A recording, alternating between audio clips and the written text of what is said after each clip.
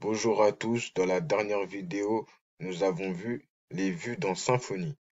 Aujourd'hui, nous allons parler de manière détaillée du template Twig. Pour commencer, nous allons créer un nouveau contrôleur. Pour le faire, allez dans votre invite de commande, moi j'utilise PowerShell. Une fois dedans, entrez la commande php bin slash console make contrôleur. Puis, soit vous lui donnez le nom que vous voulez, soit vous l'appelez Power comme moi. Une fois créé, on retourne sur VS Code, il sera créé directement comme on le voit à l'écran.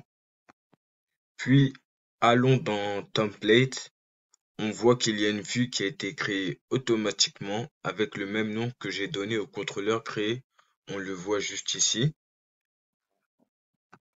Maintenant, visualisons ce qui se passe dans le contrôleur Power.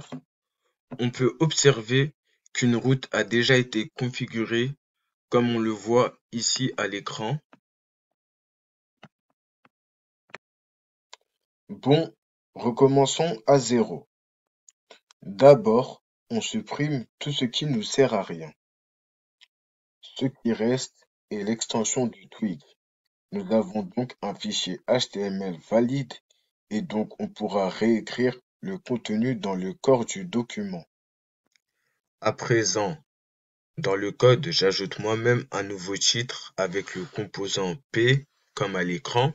J'écris Bonjour Udemy. Puis, on rafraîchit la page web. On peut voir la modification juste ici. Maintenant, nous allons ajouter cette commande ici et ici.